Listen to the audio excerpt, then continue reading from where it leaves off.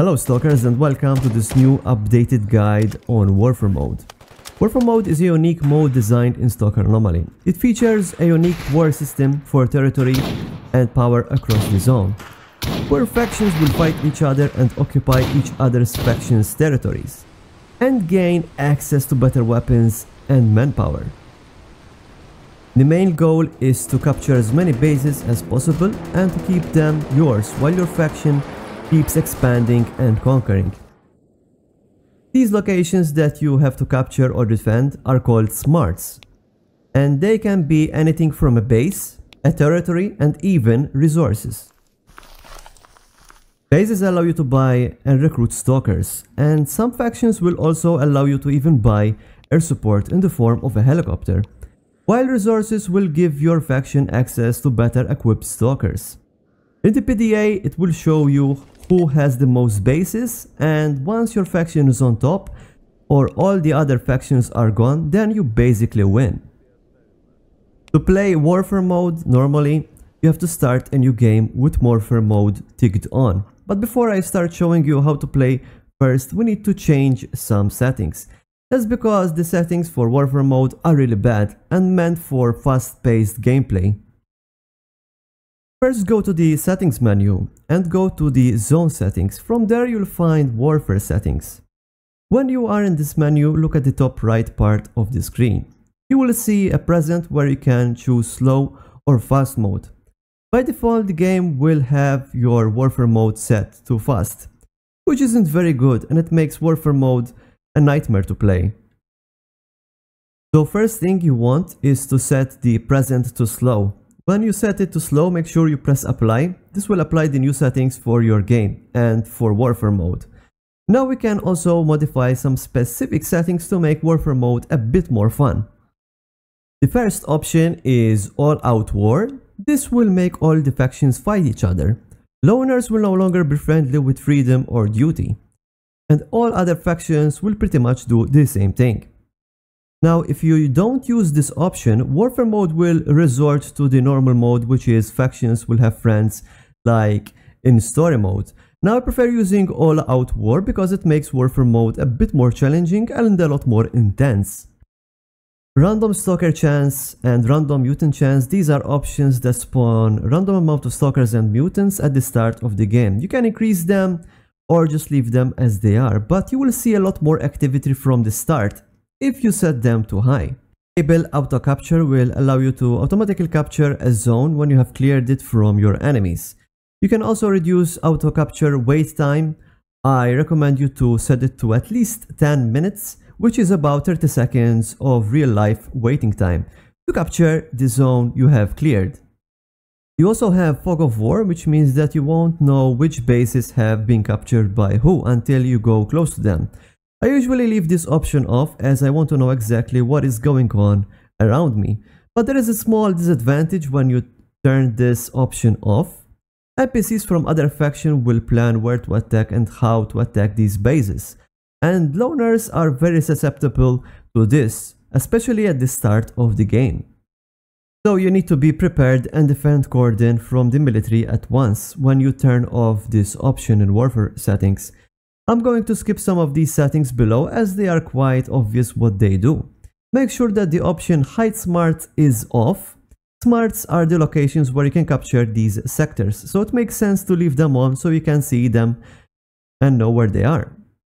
I also like to turn on hide unfriendly squads because I don't want to know where the enemies are exactly on my PDA. And speaking of PDA, there is a small tiny issue if you're playing uh, Warfare mode, especially when you're playing loners.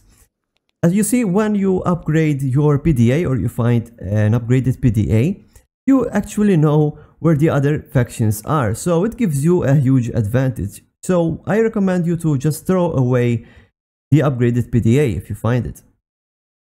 Down here you can adjust the prices of recruiting stalkers and you can also adjust the price of the helicopter.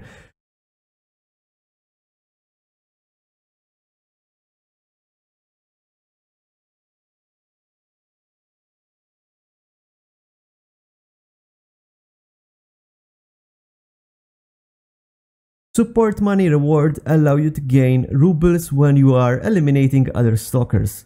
I like to set this to 250 as you will gain a few coins for doing your job. In Warfare mode you can take those small jobs from the NPCs, but sometimes you might have to focus more on attacking and defending the territories. Another option you need to set is the minimum and maximum monster respawn time. Don't make the minimum too low or you can overwhelm the zone with mutants. You also have this Purge Zone option which has a chance to remove captured bases from stalkers when an emission occurs, but I like to turn this off, but feel free to experiment with this option as much as you want. Now the biggest problem with Vanilla Warfare mode is that Monolith are very unbalanced and they will win in just a few hours with the default fast present on. But we can fix that by reducing the amount of men they have in their squads. Well stalkers, we are halfway through this video, so make sure to drop a like and subscribe if you're new to my content. I do a lot of stalker anomaly videos and guides, and I love testing new mods and show them to the stalker community.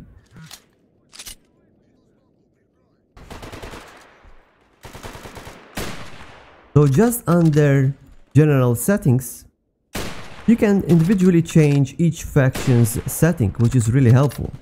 This is what I like to do to keep warfare mode nice and balanced I like to change the Stalker squad group to give the underdog factions, like, like loners, a bit more manpower, while reducing the squad groups for factions like Monolith and Mercs.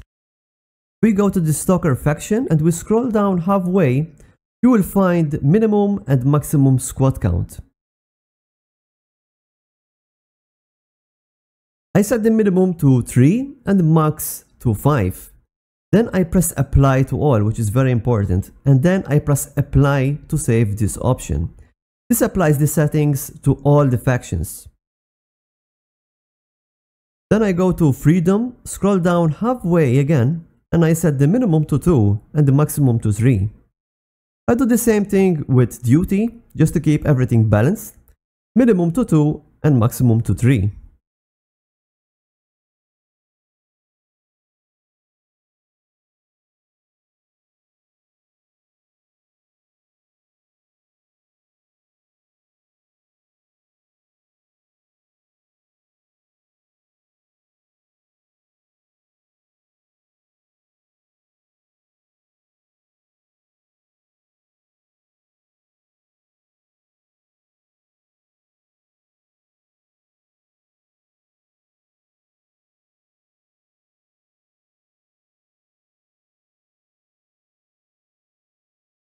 Clear Sky gets 1 to 4. And Military, Mercs, and Monolith, and also UNISG only get 1 minimum and 3 maximum man. Now make sure to press apply for these options to be saved.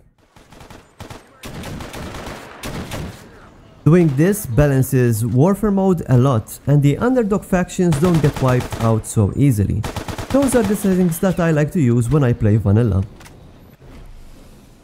Now when you start playing Warfare mode, you can use your PDA to actually command troops and even buy squads from the bases. All you have to do is right click on a smart that is a base and then that will allow you to buy squads and even call for a helicopter. If you don't see that option, it's because you don't have enough money yet. You can also right click on a squad to command them to move and attack a smart and you can tell them to also follow you. You can also become the commander of your faction, which allows you to plan attacks and send stalkers to defend the areas that you desire. I usually let the game manage and command my stalkers, but if you like RTS games, this is a great option for you. It is very important that you understand that you can just jump from one part of the zone to the next. Bases can only send troops to the next connected location, so if loners want to send troops to Rostok, first they need to own a base in Garbage. It is a progressive step-by-step -step conquering system. Now there is a mod that improves Warfare mode by a lot, and it has been out there for quite some time. It is called Warfare A-Life mod, and it works on Anomaly 1.51, 1.52, and even 1.53.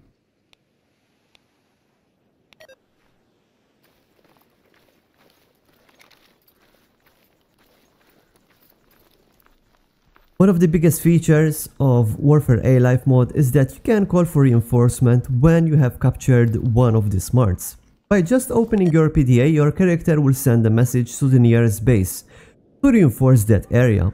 But this option only works for factions that are military, for example Duty and Merc. Also has a great feature where if a friendly NPC dies, it can be replaced by another which is very helpful because technicians sometimes can end up being killed in an invasion.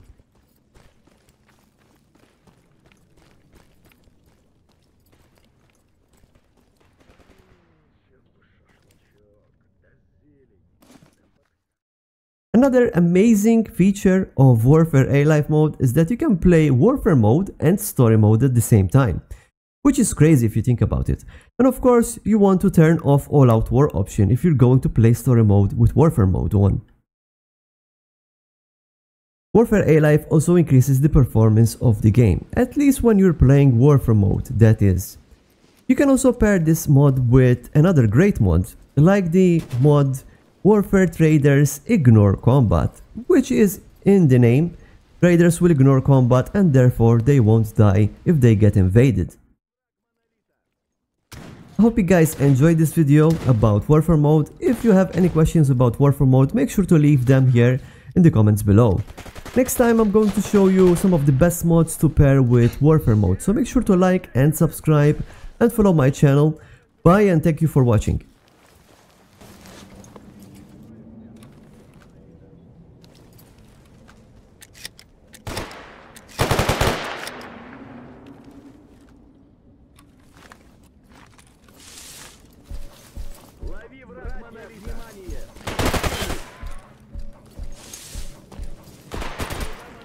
уничтожить тебя.